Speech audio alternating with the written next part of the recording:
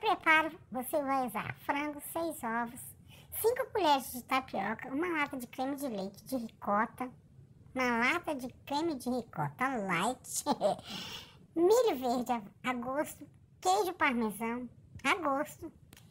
No caso, queijo parmesão você vai usar para gratinar. Use sal e temperos a gosto, cebolinha, salsinha, cebola, né? Mistura tudo junto, tudo junto. Coloca numa forma untada com azeite e leve ao forno em 180 graus até assar.